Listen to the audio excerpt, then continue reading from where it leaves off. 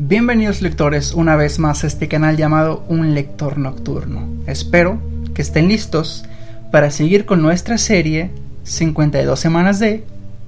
vampiros.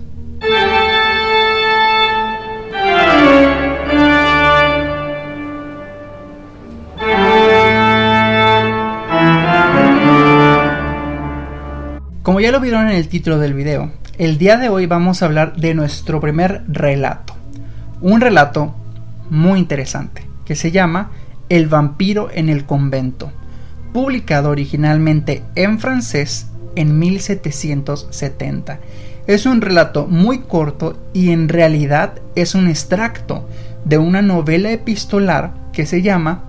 Cartas a una mujer ilustre de Polonia que murió hace poco, o algo por el estilo. Como el nombre original está en francés, solamente lo escribí en Google Traductor y ese fue el resultado que me salió. Así que así le vamos a llamar. Y bueno, este libro de Cartas a una mujer ilustre está compuesto por 52 cartas y la número 42 es de la que se extrae la historia que nos cuenta este cortísimo relato, el cual es considerado como una de las primeras apariciones en la ficción literaria de la figura de el vampiro. Por eso es tan importante y curioso este relato. Sin embargo, a pesar de lo que nosotros podríamos creer que esta historia va a ser terrorífica o algo escabrosa, la realidad es que no. Tiene un tono que está inclinado mucho más a la burla y a la crítica del suceso que da nombre a este pequeño relato. La carta, escrita en lo que se supone es Francia y dirigida a una mujer cuyo nombre nunca es mencionado, nos cuenta la historia de cómo un religioso presenció de primera mano la aparición de un vampiro que generó estragos en un convento de Polonia por varias noches. Explicada con cierto escepticismo, el narrador nos deja ver su opinión sobre dicha anécdota, la cual considera como una muestra de la flaqueza del espíritu humano. Es también evidente que la mujer a quien se intenta comunicar el relato no es muy partidaria de la creencia de estas criaturas, ya que el narrador refiere a conversaciones antiguas en las que ella trata de dar una explicación racional a la existencia de estos cadáveres que regresan de la muerte, y afirma que la conservación de los cuerpos se debe a la calidad de la tierra en la que fueron sepultados y no a cuestiones sobrenaturales. Además, de mostrarse decepcionada por las afirmaciones a favor de estas criaturas por parte de un tal Dom Calmet. El relato cuenta con algunas descripciones físicas de los vampiros, tales como tener la cara roja, ser cuerpos a los cuales se les ha separado de su alma y que salen a chupar la sangre de los vivos. Además, cuenta con descripciones de cómo se puede eliminar a un vampiro, mencionando la decapitación, traspasarles el corazón e incinerarlos. La narración termina con un tono de desacreditación, describiendo la historia como absurda, fruto del fanatismo sin razonamiento y mencionando incluso la destitución del religioso que cuenta la historia, tratando de justificar con eso la poca credibilidad por parte del testigo. El vampiro en el convento es una historia bastante corta, pero aún así sumamente interesante cuando se analizan los elementos que la componen, desde el constante tono de escepticismo sobre el tema que se está tratando, hasta el nombre de Dom Calmet, mencionado al principio de la narración.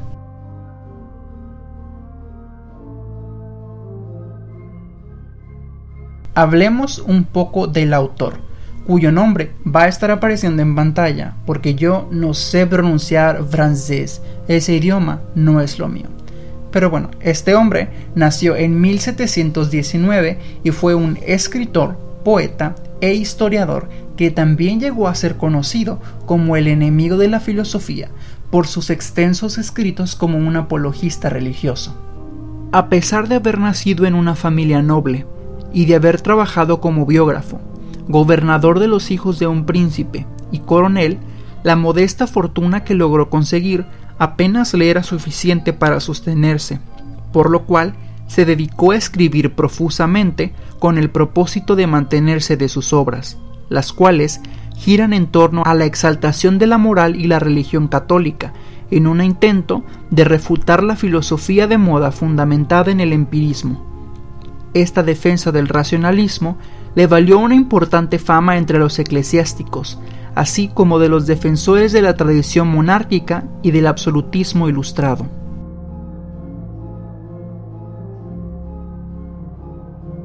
Tal postura de exaltar la moral y la religión católica se ve claramente expresada en el relato del vampiro en el convento, cuando el escritor trata de demeritar el personaje del religioso porque a pesar de que éste tiene una postura alta dentro de las creencias católicas, al estar hablando y difundiendo información que va en contra de sus creencias, lo vuelve un claro ejemplo de la flaqueza del ser humano.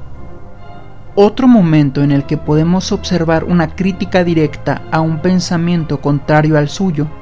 es cuando se menciona la decepción por parte de la mujer a la que va dirigida la carta hacia Dom Calmet,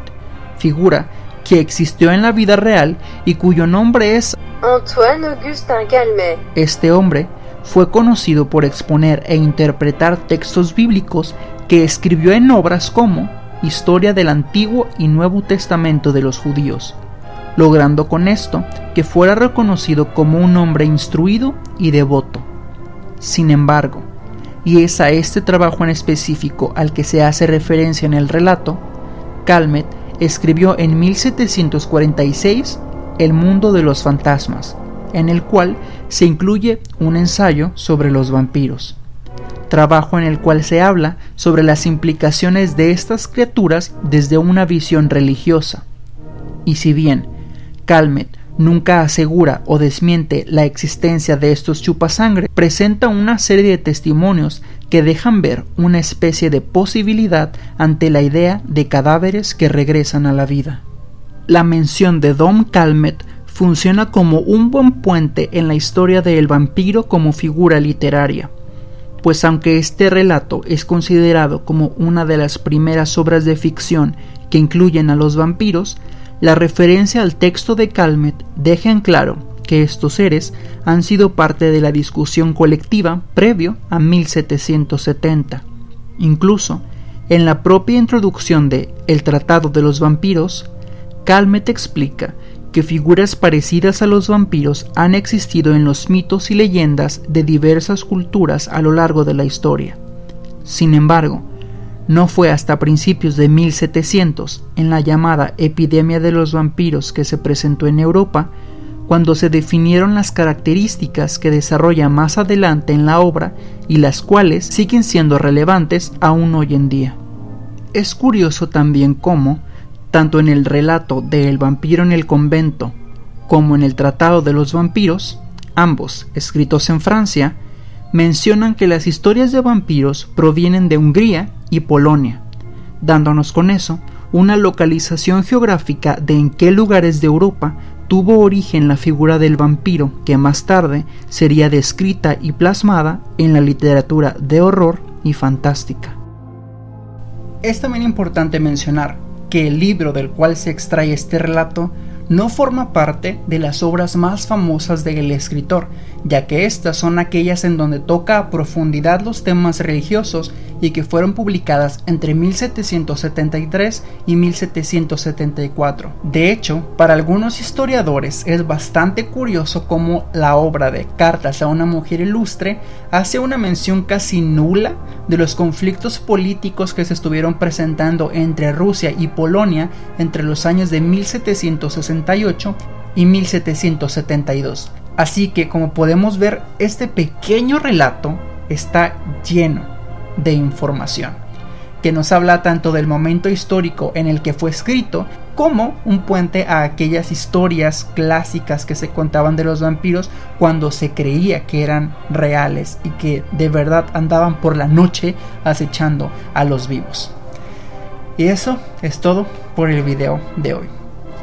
Me encantaría leer Nocturno sus opiniones sobre este relato en la parte de los comentarios. Lo vuelvo a repetir, en la caja de la descripción les voy a dejar un enlace a un blog en donde está esta historia por si gustan leerlas. Y bueno, no olviden seguir todas las redes del canal, están en Twitter y en Instagram principalmente. Me despido y ya saben, yo espero que tengan una muy buena semana y que lean un muy muy buen libro.